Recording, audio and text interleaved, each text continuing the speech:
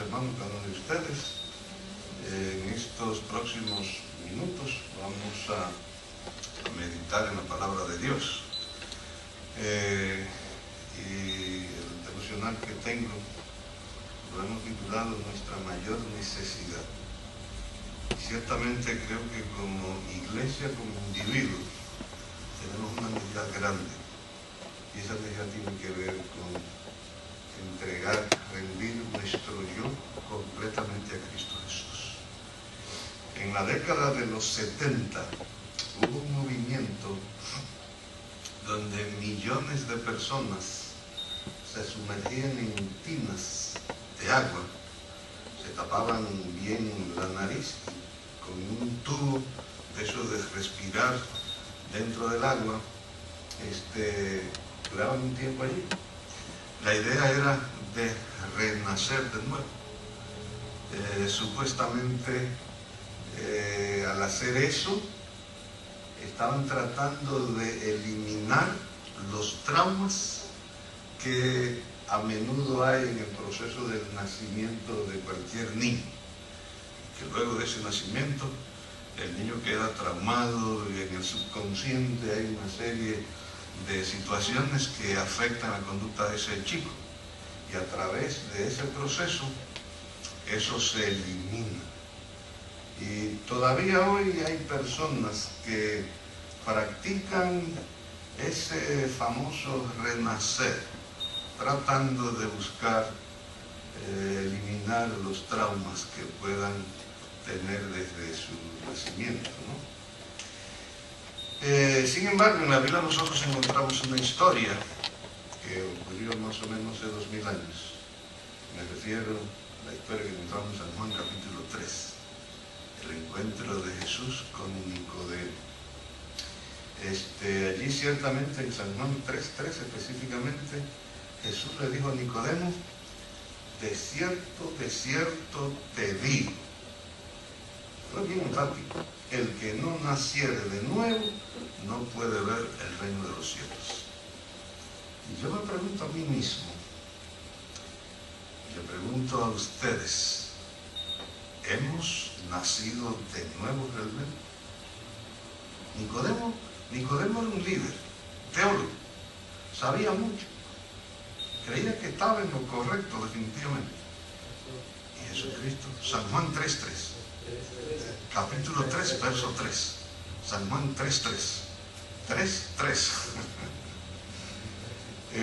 Jesús fue bien enfático, hermanos. Le dijo, ciertamente, tiene que nacer de nuevo. No dijo, nadie puede ver el reino de Dios a menos que ame a Dios y guarde su mandamiento. No le dijo así. Tampoco le dijo, nadie puede ver el reino de Dios a menos que guarde el sábado devuelva diez.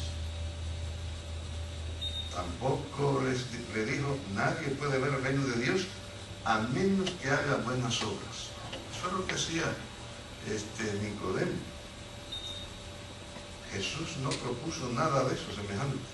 Lo dijo clara y distintivamente. Nadie puede ver el reino de Dios a menos que nazca de nuevo. Y mis queridos hermanos, eso va con cada uno de nosotros comenzando conmigo. Eh, una dama llamada Cory Boom lo expresó de esta manera. Si Jesús hubiese nacido mil veces en Belén, pero no hubiese nacido en mi corazón, yo estaría perdida. ¿Será que podemos estar perdidos creyendo en Jesús? Porque una cosa es creer y otra cosa es que Jesús haya nacido y nos haya transformado y nosotros hayamos renunciado al yo, justamente en eso estriba el nuevo nacimiento, en renunciar al yo y permitir que Cristo ocupe nuestra vida. Y eso vamos a ver un poquito más adelante la vida y en la experiencia de un hombre llamado Saulo luego se convirtió en el apóstol Pablo. ¿Por qué es importante el nuevo nacimiento? Hay dos razones que quiero compartir. Primero, porque mediante el nuevo nacimiento experimentamos lo que significa llegar a ser cristiano. A través del nuevo nacimiento y solamente a través de él adquirimos los atributos distintivos del cristianismo. La razón, cuando hemos nacido de nuevo, adquirimos los atributos distintivos del cristiano. Y quizás pudiésemos dedicar tiempo a hacer una lista, pero eso se lo dejo para que meditemos todos en esos atributos del cristiano. Preguntemos, ¿se manifiesta en mi vida, donde quiera que estoy, esos atributos cristianos? El punto número dos es el nuevo nacimiento el que nos lleva de la condenación a la justificación, de la enajenación a la reconciliación, de la muerte a la vida, del pecado a la santidad, de la esclavitud a la libertad, de andar conforme a la carne para andar conforme al Espíritu. Nos cambia, dice Efesios 6, 2, 2 capítulo 2, verso 3, nos cambia de hijos de ira a hijos de Dios. Esa experiencia que Jesús quería expresarle o le expresó a Nicodemo, todavía Jesús nos dice exactamente a nosotros lo mismo. Eh, una vez este, me tocó llevar cuando estaba en Washington DC a un grupo precisamente de colombianos, pastores colombianos estaban en el área de la Unión de, Colombia y, fuimos al cementerio de Arlington. Y una de las atracciones de ese cementerio es el cambio de guardia. Esos guardias que hay allí, entre la tumba, parecen momias, derechitos y marchan con una solemnidad que es terrible. Tienen unos zapatos que cuando los suenan, suenan. Muy solemne el lugar. Eso y la tumba de, del presidente Kennedy. Y ahí en una tarja, en la tumba del presidente Kennedy, hay, una cita de uno de sus famosos discursos, donde él dijo, no preguntes lo que tu país puede hacer por ti, pregunta lo que tú puedes hacer por tu país. Y uno de los pastores que estaba allí sacó un lápiz y un papel y ahí los de un sermón. Ante aquello le dio el Señor un sermón Y luego él decía, a mis oídos viene la voz de ese presidente justamente haciendo esa pregunta, como que la puedo escuchar decir. Y, yo quiero usar esa ilustración. En lo que a mí se refiere, esa conversación de Jesús con Nicodemo, cuando Jesús le dijo a Nicodemo, tiene que nacer otra vez, como que a mí me suena, como que la quisiera escuchar, me imagino la voz del Señor diciéndolo a Samuel García, diciéndoselo a cada uno de los aquí presentes. Necesitamos nacer de nuevo. Mi hermano, nacer de nuevo, escuchen bien, no es conocer la doctrina hay algunos que conocen la doctrina para discutir. No es, no consiste aún en apegarnos a conceptos bíblicos. No estoy diciendo que eso es malo, pero ciertamente el nacimiento, nacer de nuevo, es una experiencia que tiene que ver con entregar nuestro yo, nuestra vida, lo que somos, lo que tenemos a Cristo Jesús. Eh, William Buckley lo expresó muy bien de esta manera. Escuchen bien esto, hermano. La bondad. ¿Qué cosa? La bondad. El verdadero amor cristiano ha traído más gente a la iglesia que todos los argumentos teológicos del mundo y la dureza y fealdad han ahuyentado más gente de la iglesia que todas las dudas del mundo. ¿Y qué es lo que quiere decir este caballero con esto? Que cuando tenemos, cuando hemos tenido el nuevo nacimiento, en nuestras vidas se va a reflejar los atributos del verdadero cristiano. entre otros es amor, bondad, mansedumbre, dedicación, entrega, eh, rendirnos al Señor y a su servicio. Y a mí me llama mucho la atención de esta cita. La escribe alguien que ciertamente amaba al Señor y comparte lo que era parte de su experiencia, la bondad del verdadero amor cristiano. Eso ha traído más gente a los pies del Señor que aún doctrinas y lectura y estudios bíblicos y demás.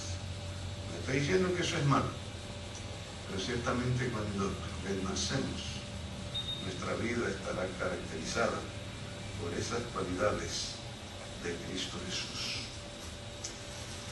Eh, mencionaba que la mejor, quiero compartir esta, una cita de la señora de Juárez, está en el instructor juvenil del primero de febrero del 1874. Ella dice, el verdadero arrepentimiento del pecado, la fe en los méritos de Jesucristo y el bautismo a la semejanza de su muerte, y después de ser levantado del agua para vivir una vida nueva, son los primeros pasos en el nuevo nacimiento el Salvador le dijo a Nicodemo que debía experimentar para cesar. Ya nosotros hemos pasado por ahí, ¿no es cierto? Y lo decimos con alegría, con satisfacción. Fui bautizado, participé de ese símbolo de la muerte al viejo hombre, levantarme eh, en novedad de vida, como Cristo fue resucitado. Sin embargo, hermano, eso no lo es todo. Y ahí es donde quiero encajar la experiencia de Pablo. Estoy tratando de acortar para que no nos tome el tiempo, no nos traicione. El apóstol Pablo, ¿cómo se llamaba antes? Saúl. Saulo de Tarso, la historia de su conversión está en Hechos 22, 6 al 10. Pablo se dirigía a Damasco a perseguir a los cristianos. Quería acabar con ellos, creía que estaba haciendo lo correcto. El gran sabio, el abogado, el doctor. Sin embargo, caminando hacia Damasco, allí en pleno sol, al mediodía, el Señor se le aparece. Y en esa historia que él declara, hay una parte de esa historia que encierra lo que quiero decir en esta noche. Y lo que es el nuevo nacimiento. La pregunta de Pablo al Señor, ¿qué haré? ¿Qué haré? ¿Qué quieres que haga, Señor? ¿Qué haré?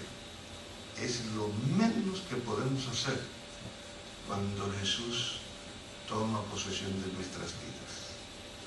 En la vida de Pablo, o de Saulo, debemos decirlo así, eh, en un solo momento, Saulo decidió poner su vida a los pies, al, cuidado de Jesucristo. Se rindió a Jesús.